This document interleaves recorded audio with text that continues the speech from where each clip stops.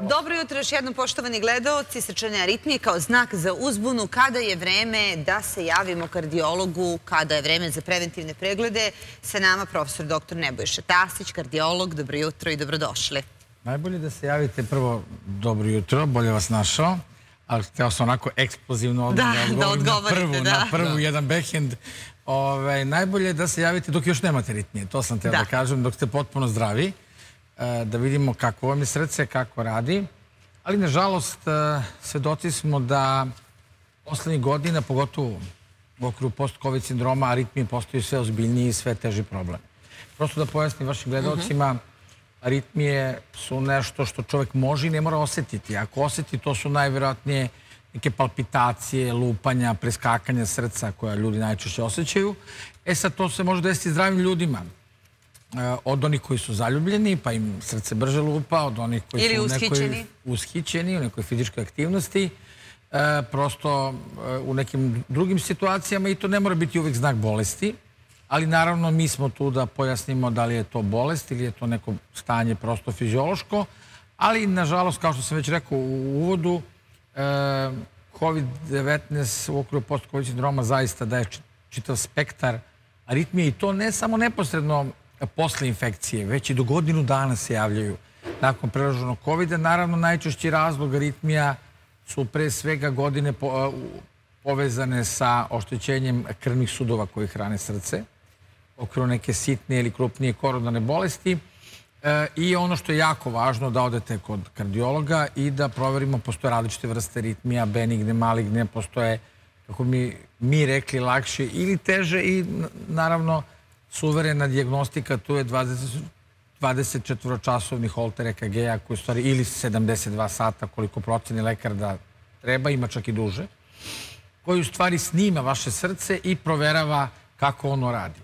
Naravno, aritmije su jedan vrlo važan problem. E, pomenuo bih jednu od najčešćih aritmija koja se zove e, fibrilacija pretkomora ili atrija fibrilacija, od koje boluje pogotovo starija populacija gde ako se na vreme ne prepozna može dovesti čak do šloga jer se stvori tromb u levoj pretkomori i ako se ne piju lekovi za razređivanje krvi e, dolazi naravno do nekih neželjenih ishoda. Ono što hoću da kažem da e, naravno uvek se pokušava prvo sa lekovima, takozvanim -hmm. antiaritmicima, da se taj problem reši.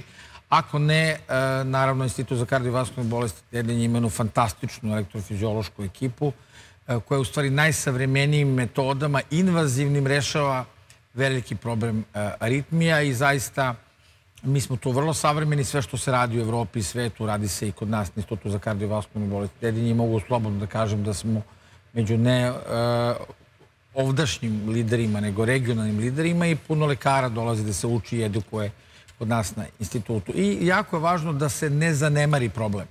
Znači, svi bolesnici koji to osete, da se jave, problem može biti u srcu, ali ne mora. Tipičan primjer je oboljenje štitne žlezde, mm -hmm. uh, ubrzan rad, hipertireoza, koji takođe može dovesti do aritmija, pa čak i malokrvnost može dovesti do ubrzanog rada srca, koje gde nije srce uvek problem, nego je srce pati kao posljedica drugih problema. Sve to naravno lekari mogu da prepoznaju, diagnostikuju i posle toga uspešno leče. Ali kada smo rekli, kada ste, odnosno profesore rekli, uh, ubrzanog rada srca, ali onaj nepravilan rad srca, znate ono kada da, da, postoji se... ubrzan i nepravilan. Taj da. nepravilan, upravo sam pričao malo o, o njemu, to je ta atrina fibrilacija kao sve češći i značajniji problem i tu su takozvane predkomorske i komorske ekstrasistole, odnosno preskakanja, kako ljudi vole da, da, kako bi se da, reklo da u običnom životu. Da li to možda bude posljedica nekog stresa ili premorenosti ili tako nešto? E, ili... To je dobro pitanje. To, odmah me uveže ono kad mi dođe pacijent sa visokim holesterolom, svi su mi rekli da mi je upovišen holesterol stresa. Najlakše je okriviti stres za da. sve u životu, ali može i ne mora biti baš tako. Mislim, stres može uticati na par preskakanja, ali ne možete biti 24 sata u stresu. Mislim, možete, ali to se zove hroničan stres, naravno. Ali u svakom slučaju taj holter nama omogućuje da vidimo vrstu aritmija, težinu aritmija i da praktično procenimo šta je potencijalni uzrok. Kao što sam rekao kod starijih ljudi, najčešći uzrok je ta koronarna bolest srca, ali ima i drugih uzroka.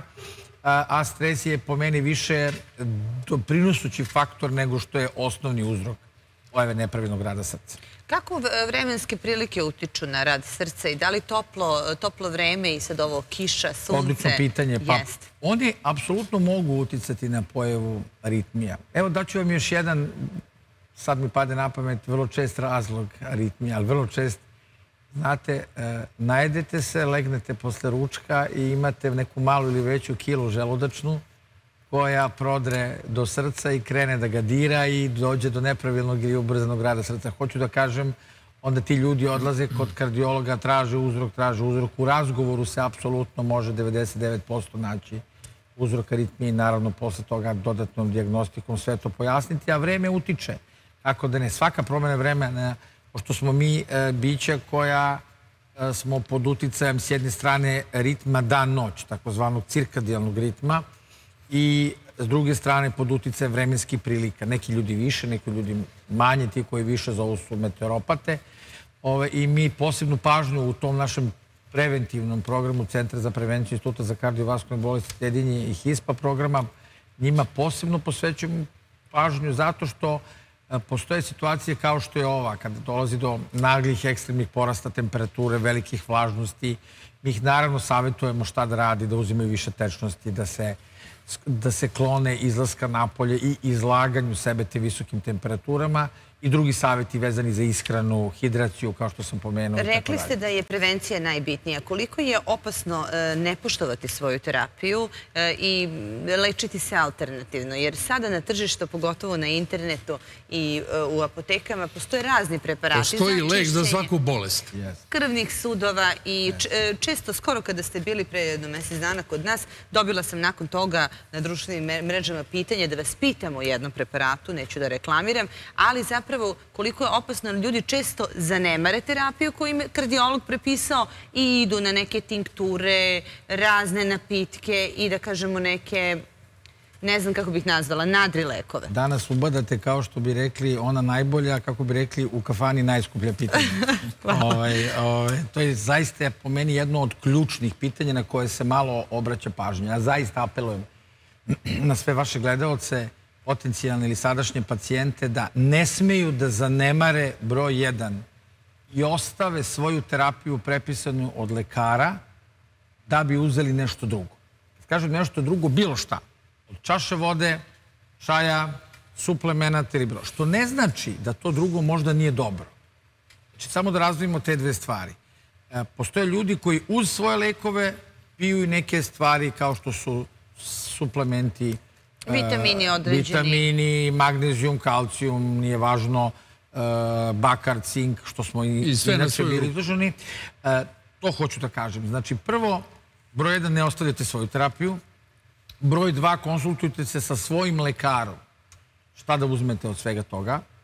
E, Iako vam sve piše na Dr. Google i Dr. Yahoo, mislim da treba da imate bar jednog lekara kome verujete, koji zna šta radi, ko- koji sa vama, ja to uvijek kažem, ima to fino poverenje, a onda ćemo na tu terapiju po potrebi dodati nešto što je dobro, da li taj, da li taj preparat za koji su vas pitali ili neki drugi, ali da samo on bude osnova lečenja, to je po meni vrlo, vrlo, vrlo opasno. Ali profesor, često vaše kolege unesu zabunu. Oni se oglašavaju po raznim društvenim mrežama i ponekad i neodgovorno daju savete za raznorazne situacije. Ja nikada protiv kolege nijednu reč neću Dobro, reći. nego ne, ne, ne, šalim se. Hoću da kažem, ima i toga, ima i svega. Naravno, ove, ima ljudi koji duboko veruju u neke stvari i onda ih na društvenim mrežama, neću čak ni da kažem, reklamiraju, podržavaju, šire i tako dalje.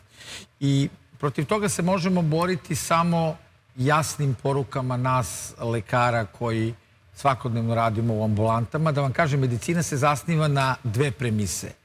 Jedna je medicina zasnovana na dokazima, što bi rekli amerikanci evidence-based medicine, a druga je medicina zasnovana na iskustvu. Ni jedna ni druga kad prevagne do kraja ne valja. Balans između te dve vrste medicine je najbitnija stvar. To vam odgovaram na pitanje. Ima lekara koji se bave samo medicinom zasnovanom na iskustvu, pa kažu ovaj preparat sam dao 500 pacijenata, on je odličan. Iako za taj preparat nema ni jednog naučnog dokaza. Opet ima ljudi koji idu u drugu krajnost i kažu ma samo ono što piše u knjizi to valja idemo samo tako. Ja lično mislim da je istina negde na sredini i zato iskusni lekari su iskusni lekari. Znači, prošli su mnogo situacija i, i znaju koji, koji preparat da se Kratko da rezimiramo, evo, da rezimiramo, stigli smo do kraja. Preporuka za naše poštovane gledalce u toplom vremenu, kako da se ponašaju kardiovaskularni bolesnici i oni koji osjećaju neke smetnje, kojima Da, prvo- je teško. da. Ja često čujem teško mi je kada je toplo. Toplo vreme je kao i veoma hladno, veoma opasno, čak mislim da je u neku ruku možda i opasnije, zato što izaziva i širenje krvnih sudova, neki put pad pritiska kod ljudi koji uzimaju terapiju, osjećanje jedne nemoći, malaksalosti, zamora. Kratka i osnovna a, preporuka je nemojte prvo sami da, da korigujete dozu vaših lekova. Ljudi vrlo često sami smanje lekove za pritisak, onda dođe do ovih naglih promjena na hladno, onda on naglo skoči, može doći i do šloga, infarta i tako dalje. Drugo, izbegavajte boravak na suncu za vreme tih e, glavnih sati da, od 11 do 3 Hidriranje, lagana ishrana. Obavezno hidriranje, obavezno hidriranje, a ishrana lična, znači to treba fino korigovati Vi zajedno volite sa da kažete lekarom. mediteranska. Ja volim da kažem mediteranska, Znam. to je tačno jer ona jeste zaista najbolja, ali mediteranska je širok pojam. Ja volim da kažem da svako nađe sa lekarom ishranu koja mu najviše prija u zavisnosti od doba godine. Doktore, hvala vam puno što ste bili gosti programa.